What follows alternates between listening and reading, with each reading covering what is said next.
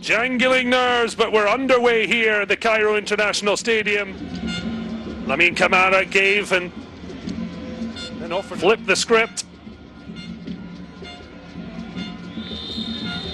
Taking off to, but they've got the opening goal. But in the well, biggest scored match, the first goal. The Lions' head held a high aloft was the Senegalese number 26. That's a very cool way to get yourself out. On the international scene as a long-range effort comes, it's pushed out. Was superb to reaction to get back to his feet. His second. Just frustration from the Gambia. Then enough presence of mind to flick it right behind the fullback out of position. Drove it in. Comes to the edge of the area. Long, deep cross. Headed back across goal. Has doubled Senegal's lead. The Berkane midfielder.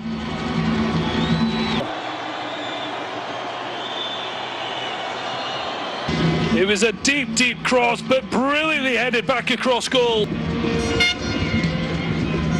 Sano making sure. Lovely ball though to the, really the first involvement. Lovely switch of play from Mbaye. Named Pickpitch time. It could be over by then. Lamine Camara off the chest and on the spin. Unbelievable skills from Samba Diallo. Aptly named. Well, before, that one would have been pure luck. It's well worked to Djiba. They've got Senegal on the front foot with that seventh minute goal. If not for the crossbar, he's clearly come on, not just to pick up an appearance, but it is now.